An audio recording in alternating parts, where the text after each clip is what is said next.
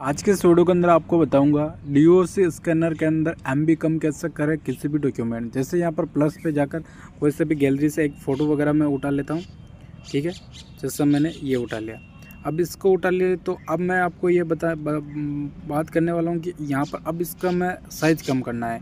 तो साइज़ कैसे कम करें कलर वगैरह सारा ये डॉक्यूमेंट हो गया उसके बाद प्लस पे जाएँगे। प्लस पे जाने के बाद अब इसका इनपुट करेंगे ना। तो इसका P D P open open P D F में ये कन्वर्ट हो गया, ठीक है? तो इसका आप साइज़ कम कैसे करना ओपन पी डी एफ़ यहाँ पर साइज़ आ रहा है तो ये साइज़ चौदह के बी का है। तो इसका साइज़ कम कैसे करना है, वो मैं आपको बताऊँगा।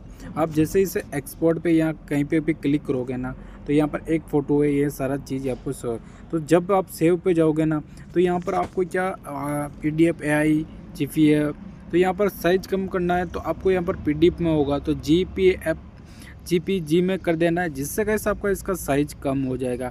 और कंपेयर करके साइज़ को आप यहाँ पर साइज़ को छोटा भी कर सकते हो। लो पे कर लेना लो पे करोगे तो इसका साइज़ आधे से आधा हो जाएगा गुड से कम करोगे तो आधी साइज़ कम हो जाएगी। तो इस तरह से इसके अंदर का साइज़ वगैरह कम कर सकते हैं। तो आई होप कि गैस आपको वीडियो पसंद आया। पसंद आई तो वीडियो को लाइक कमेंट शेयर करना।